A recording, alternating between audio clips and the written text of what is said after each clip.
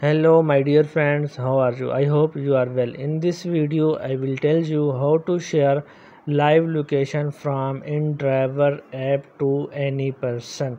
It is very easy and simple procedure. Share live location. First of all you open indriver app. When you open indriver app and then click on this option. When you click on this icon next page will be show in front of you. When show this page click on share my live location option. When you click on share my live location option next page will show in front of you.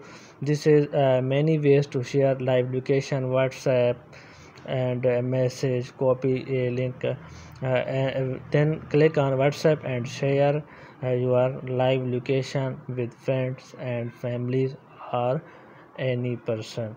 Thank you for watching this video